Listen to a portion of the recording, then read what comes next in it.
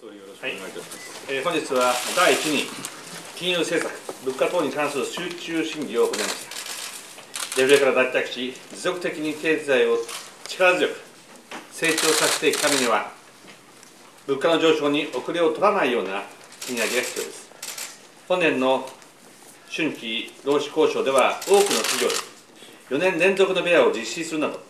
過去3年の賃上げの流れが続いています。このような流れが中小企業にも広がり、幅広い賃金上昇が実現することを期待したいと思います。第2に、地方行政、えー地方行財政改革について議論を行いました。民間議員からは、地方行財政サービスの地域差や非効率の原因を徹底的に分析し、自治体が説明責任を果たすよう促すべく、先進事例の横展開の取り組みや地方公営企業公営企業の経営を強化すべきという意見がありました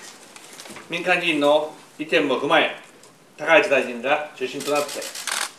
地方における各種基金や地方単独事業の実態をしっかり